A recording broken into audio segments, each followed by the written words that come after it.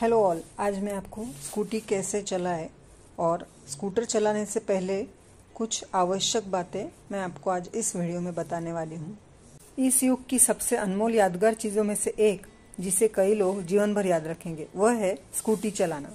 सौभाग्य से स्कूटी चलाना सीखना बेहद आसान काम है, जिसके लिए अधिकांश लोगों को ज़्यादा मेहनत करनी नहीं पड़ती है। अक्सर स्कूटी की सवारी की तुलना साइकिल की सवारी से की जाती है। स्कूटी चलाना सीखना आना चाहिए, इसीलिए हमें साइकिल आना ज़रूरी है। लेकिन साइकिल भी नहीं आती है तो आप स्कूटी सीख सकते हो। स्कूटी सीखने से पहले आपको आवश्यक जो शर्तें होती है, वो ध्यान में रखनी पड़ेगी। बीमा पॉलिसी।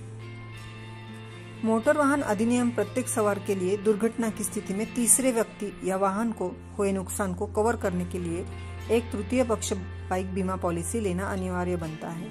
हालाँकि आत्म सुरक्षा के लिए इस कवर को बढ़ाने की हमेशा अनुशंसा की जाती है। स्कूटी वाहन के लिए आपका बीमा किसी अप्रत्यक्षित दुर्घटना की स्थिति में वित्तीय सुरक्षा जाल के रूप में कार्य कर सकता है। स्कूटी वाहनों के लिए बीमा सुनिश्चित करने के लिए डिज़ाइन किया गया है। हेलमेट, मोटर वाहन अधिनियम के अनुसार किसी भी प्रकार की मोटरसाइकिल चलाते समय प्रत्येक सवार को सुरक्षा के लिए हेड गियर पहनना चाहिए। हालाँकि, यह केवल एक नियम से कहीं अधिक है, क्योंकि हेलमेट एक सुरक्षा कवच के रूप में कार्य करता है, जो सिर को गंभीर चोट लगने से बचाता है। भारत में हर साल सड़क दुर्घटनाओं की बढ़ती संख्या को देखते हुए शुरुआती और अनुभवी सवारों के लिए उपरोक्त आवश्यकताएँ अनिवार्य है। यही कारण है कि स्कूटी ड्राइविंग सीखने से पहले प्रत्येक सवार को एक अच्छी गुणवत्ता वाले हेलमेट और एक व्यापक बाइक बीमा पॉलिसी में निवेश करना चाहिए।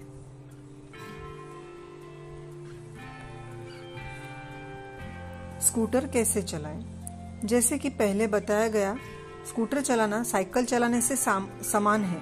एक बार जब आप जान जाते हैं कि स्कूटर पर खुद को कैसे संतुलित करना है तो बाकी सब आसान हो जाता है। एक साधारण स्कूटर पर कोई गियर नहीं होता है, इसलिए सवारों को केवल दो चीज़ों पर विचार करना होता है एक्सीटर और ब्रेक। स्कूटी सड़क पर कैसे चलाने? अपने दोनों हाथों को स्कूटर की सलाखों पर मज़बूत से टिकाकर अपने वाहन को माउंट करें। आदर्श रूप से आपके दोनों पैर ज़मीन को छूने चाहिए, लेकिन यदि आपकी लंबाई छोटी है तो आप बस थोड़ा आगे की ओर झुक सकते हैं, ताकि संतुलन बनाए रखना आसान हो जाए। आमतौर पर स्कूटर को उसके साइड स्टैंड पर रखा जाता है और सवारी शुरू करने से पहले सुनिश्चित करें कि स्टैंड को अपने बाएँ पैर का उपयोग करके किक करके हटा दिया जाए।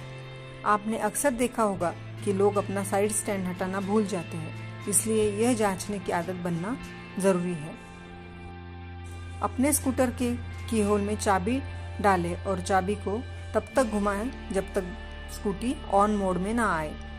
नई स्कूटी में आपको चाबी को एक से अधिक बार घुमाने की आवश्यकता हो सकती है, क्योंकि दूसरी बार आपके स्कूटर के स्टोरेज को अनलॉक करने के लिए होती है। अब बाएँ ब्रेक को पकड़कर और अपनी बाई स्कूटी पर स्टार्ट बटन दबाकर इंजन को चालू करें। ऐसे ही स्कूटर स्टार्ट होने के लिए गड़गड़ाता है, आप ब्रेक जारी कर सकते हैं और एक्सीटर को दाहिने हाथ पर थोड़ा घुमा सकते हैं। जैसे ही टॉर्क बढ़ेगा आपका स्कूटर आगे बढ़ना शुरू कर देगा। जब आप शुरू में एक्सीटर घुमाते हैं तो अपनी स्कूटी की गति मापने के लिए इसे धीरे धीरे और सावधानी से करना महत्वपूर्ण है। जैसे ही बाइक धीरे धीरे गति पकड़ती है, आप अपने पैरों को ज़मीन पर से उठा सकते हैं और उन्हें अपने स्कूटर के टिक पर रख सकते हैं। मुड़ने के लिए आपको केवल उस तरफ़ को झुकना होगा, जिस तरफ़ आप मुड़ना चाहते हैं, और हैंडल स्वचलित रूप से उस दिशा में मुड़ जाएगा।